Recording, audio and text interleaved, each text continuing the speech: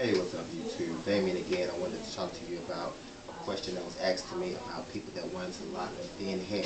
This young man has some of the thin hair, which he's mixed with a number of things like white, Indian, and a couple, and he told me Irish, and a number of other things. But that's not an issue. As long as he still has a curl pattern, I can still get in here with my solution and the comb and formulate the locks and where I want them to be, how I want them to come out. Now, for those that have the thinner, straighter hair, and you're worried about the locks coming loose, or at times you have the locks that come loose, uh, what I want you to be cautious of is what you're tying your hair up with at night. One thing that we, you need to implement when tying your hair up is satin.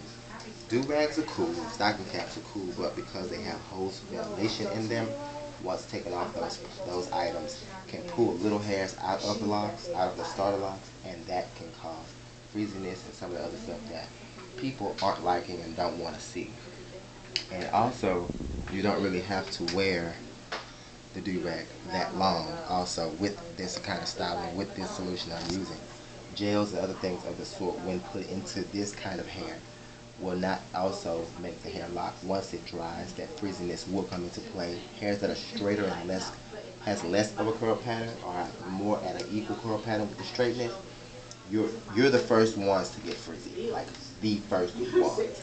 And frizziness again is just that dry hair. So that's why I implement the sprays and different things inside of my solution and the oils and all of that so that you don't have that frizziness. Now he's going to tie it up nightly with a satin scarf which will help him hold the moisturization into the scalp. Um, someone asked me, will these twists and locks fill in? Yes, they will.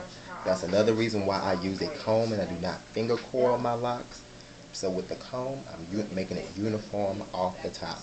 I'm combing every single hair into the twist the exact same way.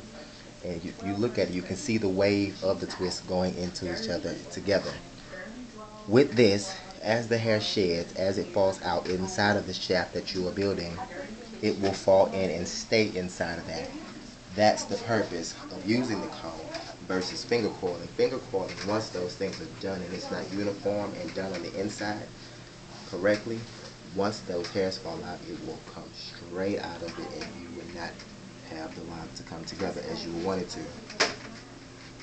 So, make sure that you are going straight through those hairs when starting. Comb all the way through each and every last twist. There should be no reason why your twist looks congruent in the beginning and in the ends look like you just smashed them together. If you have to hold putties and gels and all of that into your twist just to make it work, you are not combing that twist through. It is not a thorough twist and it will probably most likely not start your lock consistently as you would desire it to be. It's effortless, it's easy, it doesn't take that much to go in, comb those hairs through and make those twists go. So, leave out the holding stuff like the beeswax and all the muds in the jar. I guarantee you they will not get you here. They, your hair will not be able to hold off the top like this. Just from spraying, I can put this on here do what I'm going to do, twist it up real quick, put them under the dry 15 minutes and go. Again, as time goes on, as he ties his hair up nightly, those hairs will come together. It will fill in and you will not have an issue. So make sure that your hair is very, very, very, very thoroughly done and make sure that the right products and different things are put in there. For those that have softer hair like this, I would not implement any holders, any harsh sprays, any oil sheens with alcohol, or anything of the sort of the sort, excuse me. So check me out for more, more questions, thoughts, concerns. Hit me up. Peace.